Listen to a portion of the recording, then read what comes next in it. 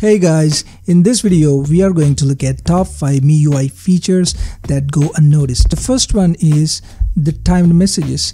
In this what you can do is you can actually set time and date uh, for a message to be sent. Basically you are planning scheduled message. So you can give the time and date as you can see on the screen and you can basically choose a recipient and it will automatically be sent on that given date. So that is the one number one thing.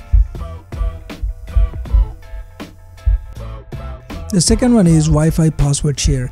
Using this what you can do is you can share your Wi-Fi passwords by simply tapping on that and it will generate a barcode and you can ask your friend to uh, what you call take out his camera and uh, scan this barcode and uh, you don't have to type in passwords or share passwords so that will directly let him connect to your Wi-Fi network.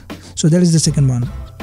The third one is FTP transfer using file manager. Open file manager and go to FTP and here you can actually uh, wirelessly send your files. But remember that you your device and your computer should be on the same Wi-Fi network. And once you click on that you will get this uh, address server address. And all you have to do is type in the same thing on your desktop browser or laptop browser. So let me show you how this looks on the desktop side and once you are connected you can actually wirelessly share files. So here you can see here I typed in the same address and uh, I can actually see all the data that is available on my phone. I can um, what do you call I can open any folder and I can also uh, preview uh, like photos or videos if I want to. Just I need to click on the particular file and it will start playing. Or if I, if you want you can also download the content from your mobile. Uh, for example here I just used uh, some easy recordings screen recorders. So all I have to do is click on save target.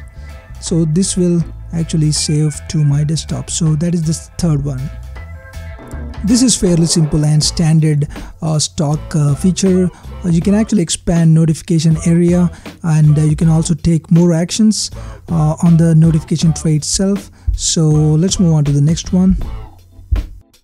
So the last feature is using your native browser. You can actually uh, access full desktop websites. You can go into settings and um, change the user agent. By doing that you can basically um, access full desktop websites. Not only that you can also uh, use your device as an android what you call ipad or iphone.